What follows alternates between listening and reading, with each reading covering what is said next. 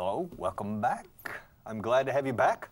After five minutes, I see that most of you, most of you are back.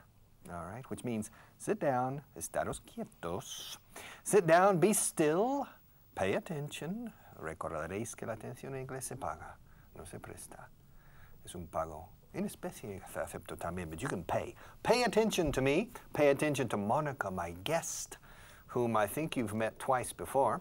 If you have been watching this program regularly, if you have been watching this program on a regular basis, that means it sure, surely you know Monica. Her English is almost perfect, which is a challenge for me. Un reto, pero me gustan los retos. But it's not easy for me to find ways to make her make mistakes. So maybe in the future I won't invite her back anymore. Mm. And I will say to Monica, I said, I'm sorry, Monica, but I need somebody here who can show the viewers what to avoid. All right? And uh, the only thing I notice about Monica is she doesn't speak with enough energy. She has a soft vocecita. All right, and so I need to teach her, not English necessarily, but I need to teach her voice projection, voice inflection, okay, and decision and resolution in, in her speech to say, ladies and gentlemen, it's a pleasure to be here again with you. As always, it is my pleasure to have the opportunity to take you into the dark forest of the English language, to hold you firmly by the hand, and to protect you from all the spirits, the bad, evil spirits, irregular verbs, phrasal verbs, auxiliary verbs, conjunctions. There are a lot of spirits in the forest, and I will protect you. And I will familiarize you with these potentially evil spirits. And you will learn that they are not so evil and you will learn that all these spirits in the dark forest of the English language are really helpers, ayudantes, who will help you articulate your speech in English and to make it fluent.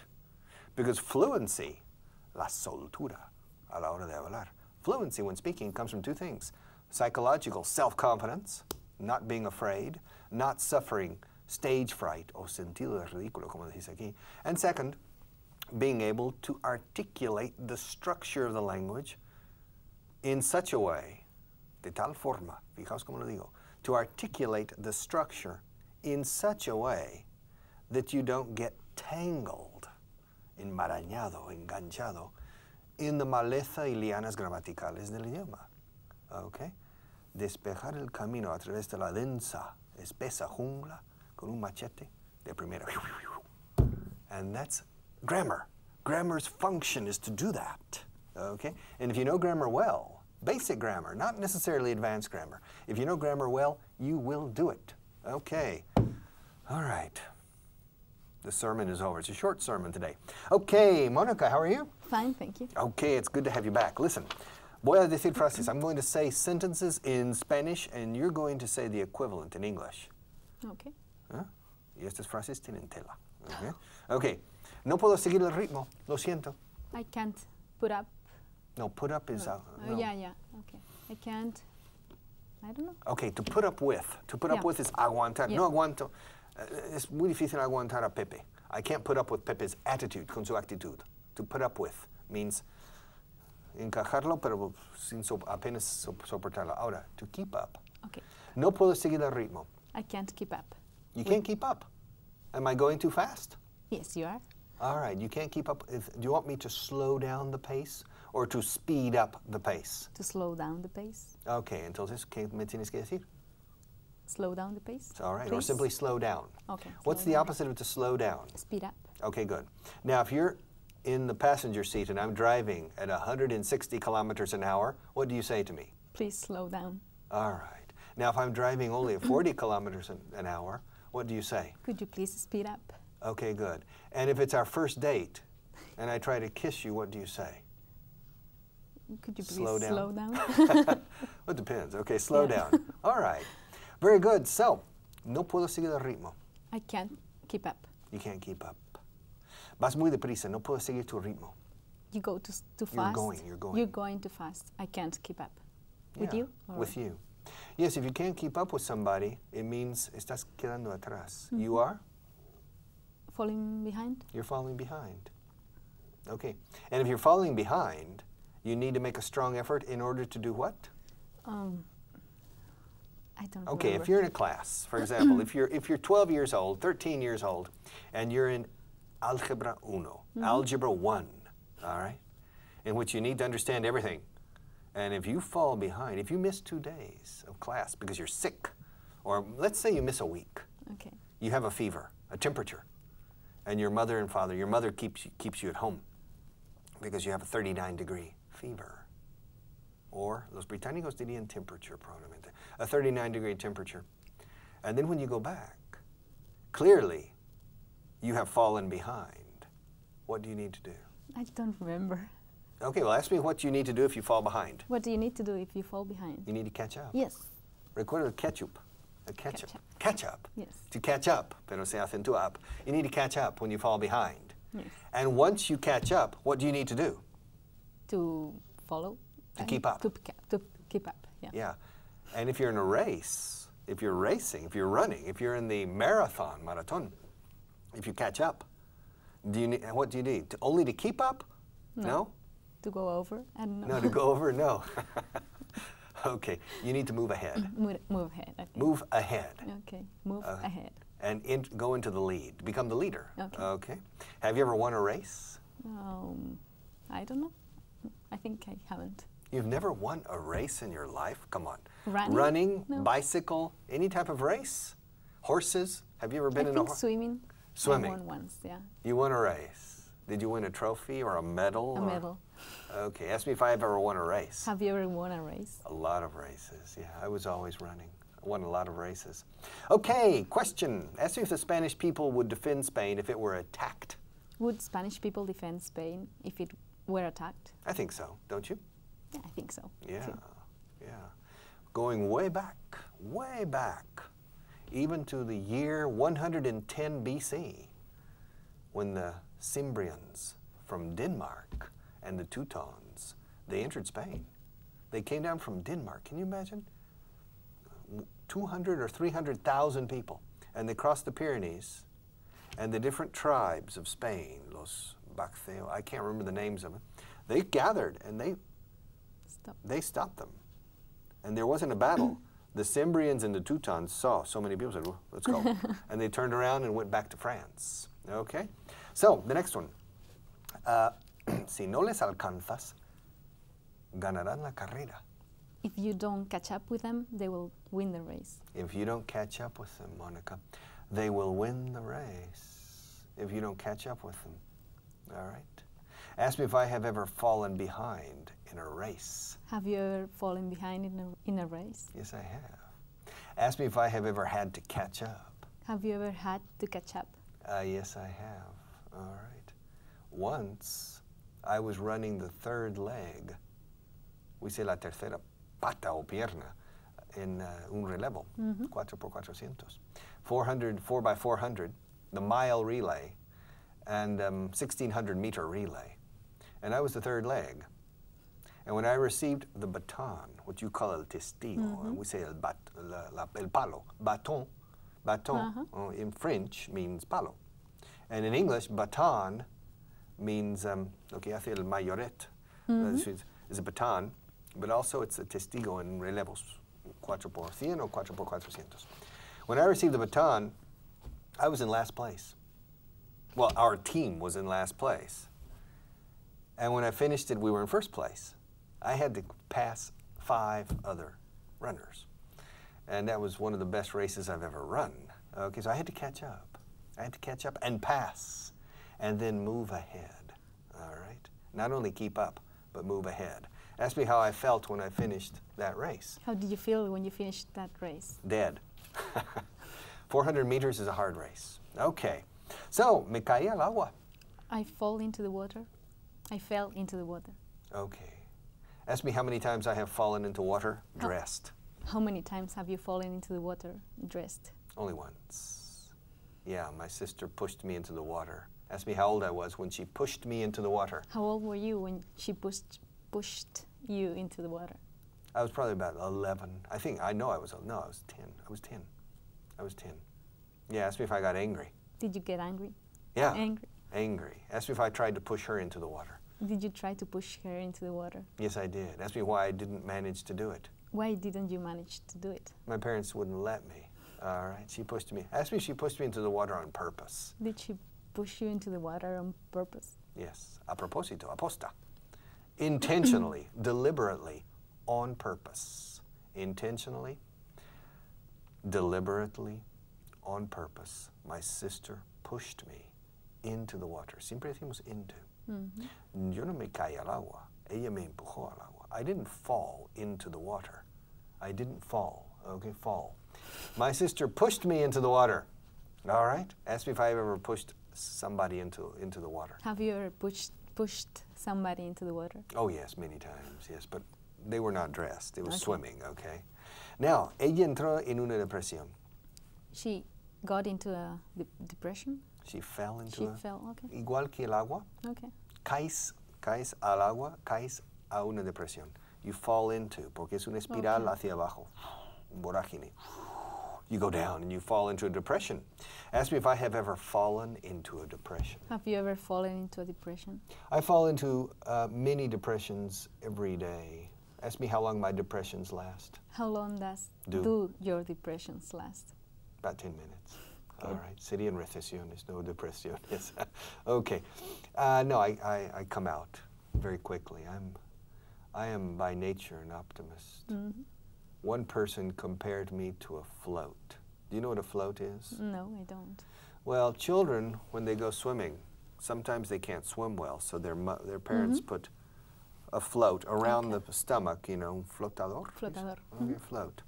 Now, if you take a float and you push it to the bottom of the swimming pool, and then use your foot to hold it and maintain it at the bottom of the swimming pool, and then you lose control, it comes back up. Mm-hmm. That's me. I come back up. You can't keep me down. You understand? Uh-huh. All right, so I'm afloat. Okay. So, so ella entró en una depresión. She fell into a depression. Have you ever fallen into a depression? Mm, yes, I have. All right. Did it last a long time? Mm, Not too much. No. Didn't? Okay. Did you go to a psychiatrist? No, I didn't. Did you go to a psychologist? No, I didn't. So you just just got it out of your system. Hmm All right.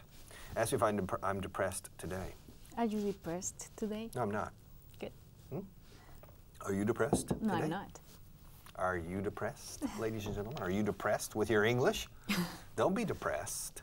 Do something about it. Haced algo al respecto. Al respecto. Haced algo al respecto. Do something about it. Haz algo, amigo, al respecto. Do something about it. If your English is not, is not good, do something about it. Come on. Take the necessary steps to resolve the deficiency if we want to say it technically. But the most common is do something about it. If you have a problem, do something about it. Solve it. Make an effort. Okay, don't you agree? Yes, I do. All right. El niño cayó, se cayó del árbol. The boy fell from the tree. Good, correct. Probably would say out of the tree. Yeah, porque no le ves en la frondosidad del árbol. ¡fu! De Okay. repente sale un chico. ¡pum! Bloom. Okay, he fell out of the tree. Okay. He fell from the first branch Mhm. or the first limb. Limb is extremidad, miembro de un cuerpo, limb. These are my limbs, my arms, my legs are appendages. All right, do you understand? Yes, I do. Or limb. How do you spell limb? L I M B. L-I-M-B. Now, las, lo, lo que son, you, on the tree you have a trunk. Well, you have the roots. Mm-hmm. Underground you have the roots. And the roots extract nutrients and water from the soil for the rest of the tree. And it goes up the trunk, out onto the limbs, and then the branches. Okay. So you see the limbs are like the major appendages. This would be a limb, my arm would be a limb, and my fingers the branches. Do you Okay, understand? yes. If I were a tree, ask me if I have ever been a tree. Have you ever been a tree? Once I was a tree. yeah. Have you ever been a tree? No, I haven't. Ask me when I was a tree. When were you a tree? I was about nine, eight or nine years old in a school representation, a play for Christmas, and I was a tree. okay, so I had l- the trunk, the limbs, and the branches. Okay. Okay, so if a if you see a tree and you can see a little boy sitting on a limb and say, "Hello, Monica," Hmm? What are you doing on that limb? I'm sitting here, and suddenly he loses ba- his balance and falls. You can say, in this case, he fell from the limb. Okay. He fell out of the tree. Okay. Do you understand? Mm -hmm. Como si saliera del árbol. Okay. ¿Sabes? Cayendo. Okay. All right, to, to fall out. Because you can fly out of the tree too.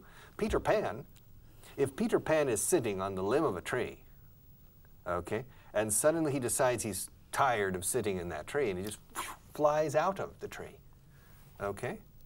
But that's not, you don't usually see that. All No. right. It's more common to see somebody to fall out of the tree. No te apoyes, no te apoyes en la mesa. Don't stand on the table. Stand no. es ponerse de pie. Okay. Don't fall. Caer por- Don't lean on the table. what am I doing? Leaning on the table. Good. All right. Yes, to lean on. Y si lo hago contra la pared, to lean? On the wall. In the No, wall. against the wall. Against the wall. Okay. Yes, te apoyas o te, te inclinas Okay. y usas la pared de apoyo. You're leaning against Okay. the wall. Now I'm oh. leaning on oh. the table. Okay. ¿Y no te asomes por la ventana? Don't lean out of the window. All right. It always says that on the trains. No te asomes por la ventana because you mm-hmm. can you can lose your head. Yeah, it can happen. Ask if I know, know anybody who has lost a member sitting in a train. Do you know anybody that has lost a member sitting on a train? Yeah. No, I don't personally know the person. Okay. I, kn- I had a student many years ago who was a military man. Mm-hmm. And one time he told me that he was in a train with other soldiers, other military people. And one soldier sitting on his left was next to the window, and he was, his arm was out. And um, at one moment, the soldier says, "Oh, My arm's bothering me. He brought it, it wasn't there. He had lost his arm. Something out, had cut it outside, a, a telephone post or something. Mm-hmm. And he had lost his arm, and it took him about five seconds To realize. to just, it's a strange feeling. My arm is bothering me. Me está molestando el brazo. It was gone. All right. So uh, I recommend that you don't Yeah. lean out the window or don't lean a, a part of your body out the window. What am I doing? You're leaning on the table. All right. I'm leaning on the table. Are you leaning on the table? Yes, I am. Good. Are you using your arms to support yourself or your body to support yourself? Both. No, you're using your arms to support your body, leaning on the table. Okay. All right? Okay, apóyate en mí. Lean on me. Good. Okay. De hecho, se usa figurativamente mucho. Apóyate en mí, te apoyaré. Mhm. Lean on me. There's a song. Have you ever heard the song Lean on Me? No, I, I don't think so. I don't know the words. I don't know the lyrics, which means I'm not going to sing it. Okay. But it starts, Lean on me when you're in trouble. Lean on me. I can't remember.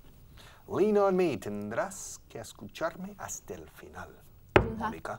you'll have to listen to me Until the end? until the end. Listen, Monica, you're going, vas a tener que escucharme hasta el final. You're going to have to hear me out. Okay. To hear me out.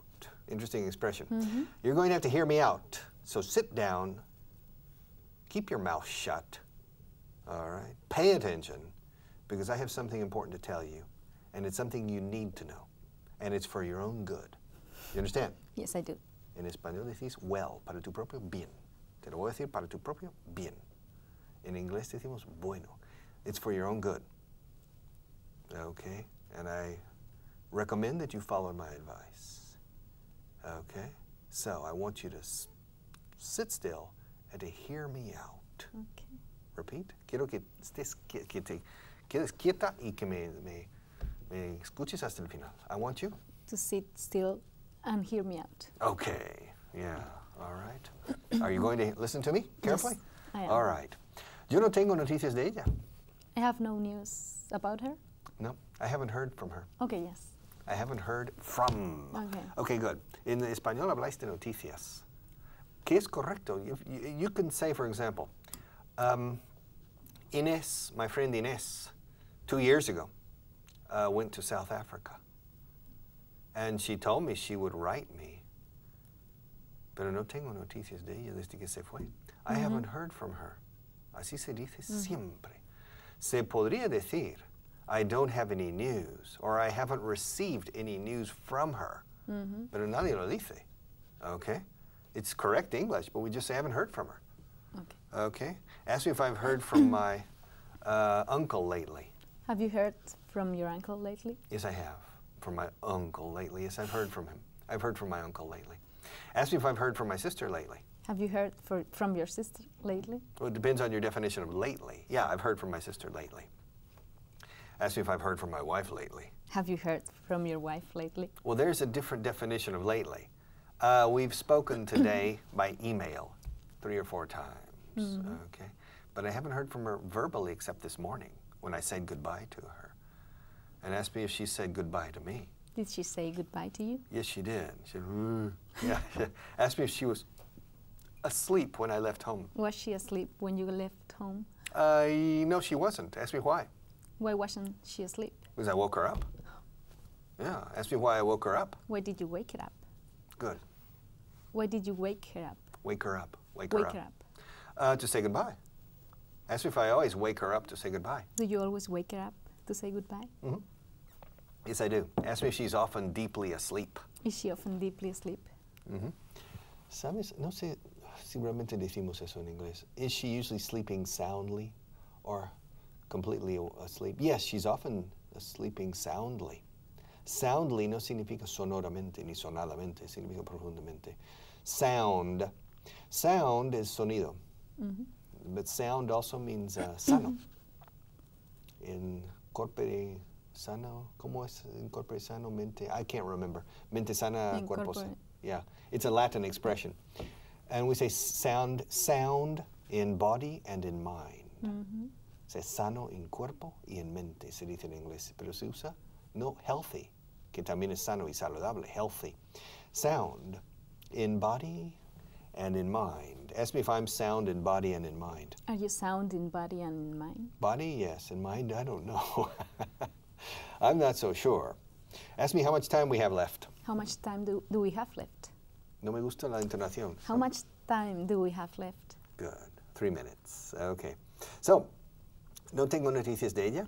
I have no. I I haven't heard about uh, from her. I haven't heard from her.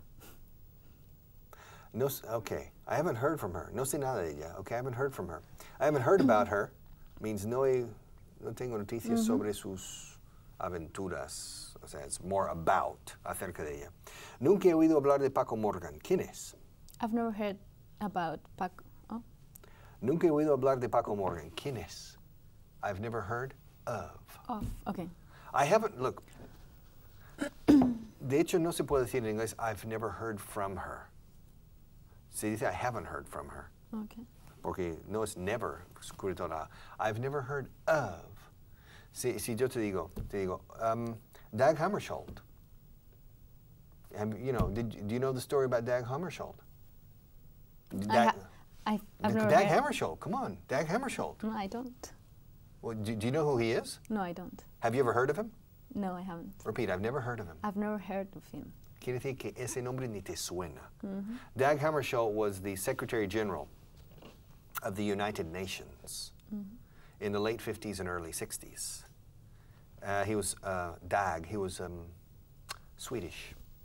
All right, he was a very good Secretary General, and uh, he was he died in a plane crash in the Congo, el Congo belga en aquel entonces, the Belgian Congo, uh, during a period of a lot of uh, instability in Africa. And he was in a small plane with other dignitaries, and the plane went down and crashed. He died, and the others were killed as, as well.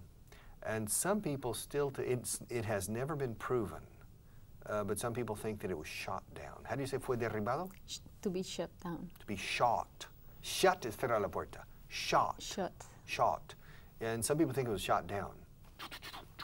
Okay, that's Dag. But you've never heard of Dag Hammarskjöld. No, I haven't. All right, Dag Hammarskjöld. Uh, uh, have you ever heard of Davy Crockett? Y- In a song? Okay, okay. Have you ever heard of Daniel Boone? No, I have. I've never heard of Daniel Boone. All right, a pioneer and frontiersman in the United States. Have you ever heard of Richard Vaughan? That's me, which means my job is to teach English. Uh, but I have to stop teaching now for a few seconds, for a few minutes, and I'll be right back in five minutes. So uh, stay close to the TV. Don't go too far away. Thank you.